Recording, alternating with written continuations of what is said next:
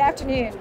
Uh, what I'd like to do today is show you our new Advanced Visualization Workspace platform. So we're really hearing our customers' voice.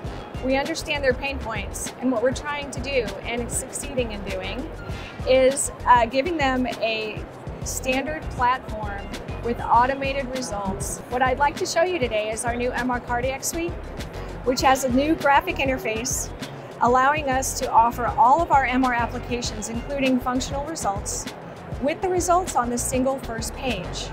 What this does for our radiologists or users is allows them to move very quickly to the results and through the reporting process and move on to the next study.